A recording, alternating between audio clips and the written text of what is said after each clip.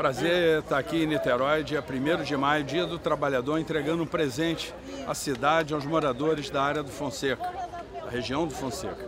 Né, estávamos aqui semana passada no feriado, trabalhando o dia inteiro, secretário Mariano Beltrame, comandante Paulo Henrique, é, Coronel Castro, Fernando Veloso da Polícia Civil, junto com Rodrigo Neves e a sua equipe.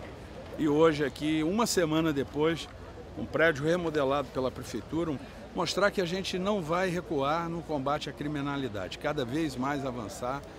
Quanto mais policiais nós, conforme nós, uh, nós vamos formando, distribuindo pelos batalhões, distribuindo em companhias, distribuindo em UPPs, avançando tenazmente no, no combate à criminalidade.